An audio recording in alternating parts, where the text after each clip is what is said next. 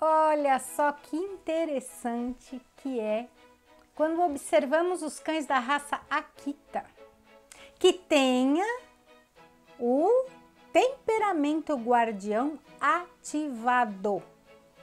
Por que é que isso me encanta tanto, gente? É justamente porque ele tem, quando guardião, enquanto guardião ativado, ele tem um reconhecimento instintivo do tutor, do amigo do tutor, do estranho e do intruso. Isso é, é nasce com o cão. E ele não precisa de adestramento para isso. Ele não precisa, ele já nasce pronto. Então todo nenezinho Akita que vem de uma linhagem onde a sua mãe e seu pai já tinham o despertar do guardião ativado, a sua, sua, sua ancestralidade que estava acordada, desperta. Aquele bebezinho nasce já com todos os elementos preparados para esse despertar. E é lindo quando isso acontece. Mas e aí? Como que nós podemos reconhecer estas quatro categorias? Como é que eles se diferem entre eles? Gente, essa essência do guardião é interessantíssima e hoje nós vamos falar aqui como é que ele reconhece o tutor, como ele reconhece a sua família. As pessoas às vezes se confundem um pouquinho e falam: ah, o Akita é cão de um dono só, de um tutor só. Não é bem assim, gente. Para o Akita, o tutor é a pessoa que mora com ele. O tutor é a família, onde as pessoas que ali aportam moram com ele. E todas as pessoas que estão alinhadas no mesmo propósito e que amem os animais. Então, é importante reconhecer isso, porque se naquela família todos gostam dos animais, aquele cão vai gostar de todos da mesma maneira. Nossa, Soraya, então você vai falar que então ele não vai gostar de todos se alguém não gostar de animais? É, não é que ele não vai gostar, mas ele vai sentir aquela energia daquela pessoa. Então, ele, ele vai saber que aquela pessoa tem uma energia diferente. Entretanto, com as pessoas que gostam dos animais, como que ele age?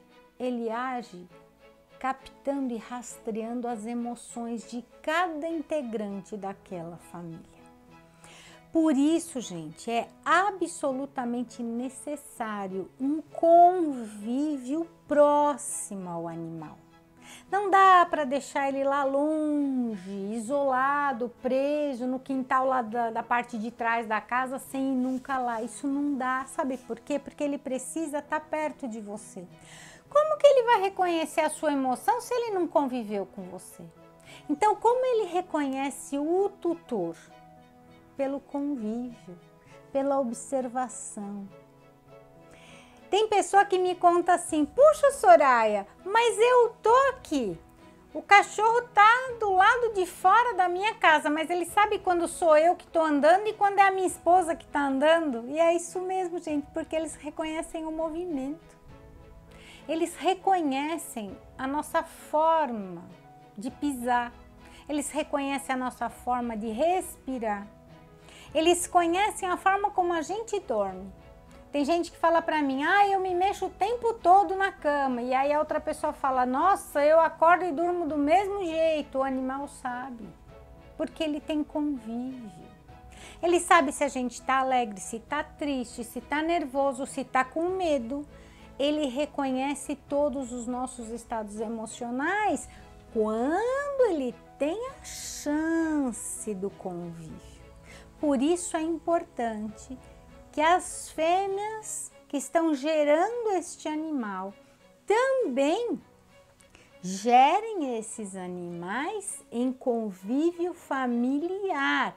Todas as impressões da mãe estarão sendo impressas naquela ninhada. E ele vai reconhecer o seu tutor, as emoções do seu tutor, porque ele conviveu, ele aprendeu por convívio estreito. Então imagina só, você tá lá na sua casa, alguém vai lá trocar o bujão de gás. É um estranho, não é? É. Você sabe que aquela pessoa vai entrar, você sabe que ela vai entrar. E o cachorro sabe que você está tranquilo, porque aquela pessoa vai entrar, mas não é um amigo seu. Então ele vai reconhecer o seu estado emocional. Se você ficou apreensivo, puxa, mudou a pessoa que entregava o bujão de gás para mim? Essa pessoa eu não conheço, nunca vi. Se você se preocupar imediatamente, o cachorro vai sentir que você ficou preocupado. Mas se aquela pessoa que troca sempre, quando a pessoa chega, oh, como que vai? Vem cá, entra aí, vem trocar para mim. Oh, você viu o gás, acabou rápido, não acabou? Gente, coisas elementares simples da nossa vida. Então, a pessoa que te entrega a feira em casa, a pessoa, aliás, época de pandemia, o que mais tem, né? Pessoa que fazendo entrega. E o cachorro sabe se você está tranquilo ou não, porque ele reconhece seu estado emocional. Por isso que eu digo que o Akita, ele é em primeiríssimo lugar um rastreador de almas. Então ele vai observar qual o estado emocional de toda a família. Se toda a família está tranquila, ele estará tranquilo. Se a família se agitar por algum motivo, ele perceberá que a família está agitada. Entretanto, há um ponto interessante que eu devo comentar com vocês. Sempre que falo aqui sobre reconhecimento instintivo dos cães, eu estou falando de cães que já estão formados, que já estão adultos. Puxa, Soraya, mas então os filhotes não são assim? Não, não é que eles não sejam assim. É que eles ainda estão aprendendo. Então, toda vez que eu falo para vocês aqui sobre temperamento e comportamento de Akita, eu falo do que nós buscamos em termos de ideal do Akita guardião que tenha a essência do guardião despertada.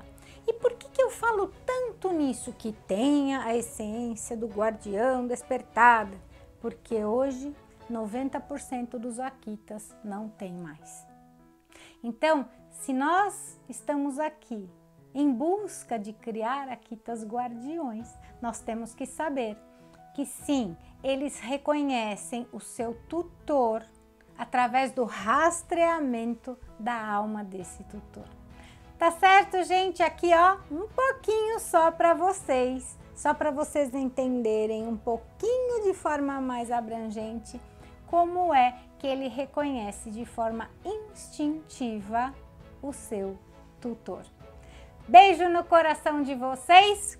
Saudações aquiteiras.